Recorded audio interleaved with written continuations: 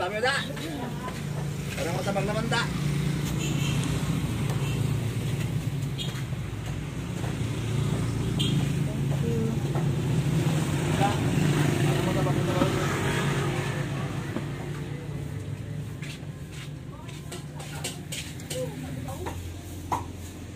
Ayan, may sabaw din kami. Dito sa pansitan. Dalawang sabaw yung ganito.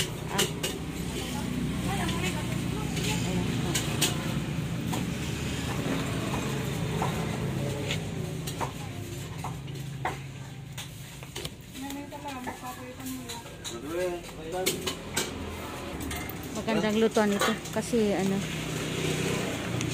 mainit pa rin yung mga ano nila yung mga paninda nila. Lalo kung may bulalo at saka yung pansit diba magsasabaw ka.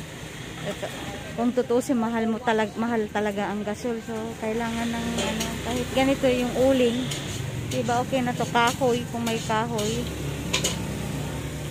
Ganito yung ano